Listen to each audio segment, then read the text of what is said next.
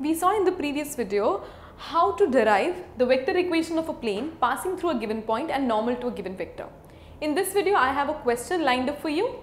The point that we were talking about passing through a given point, the equation of that point is given. This is the position vector of that point and perpendicular to a given vector is given. This is the given vector.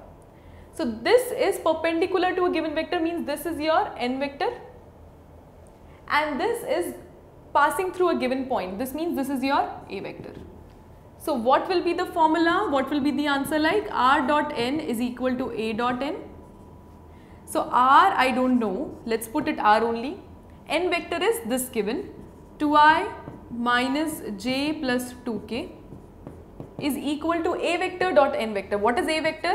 2i plus 3j minus 4k dot n vector. What is n vector? 2i minus j plus 2k.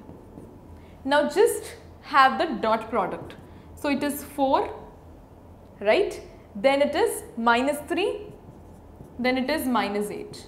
So it is 4 minus 3 is 1, 1 minus 8 is minus 7 and here it is r vector dot 2i minus j plus 2k vector. So, this is the equation that has been formed.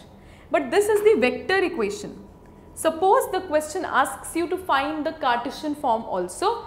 The Cartesian form can be easily formed by substituting r by xi cap plus yj cap plus zk cap dot product with the same position vector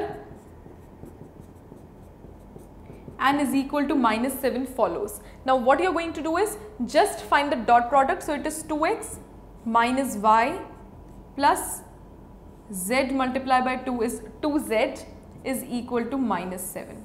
So this is also one way which you can follow to solve the questions based on this type of a problem.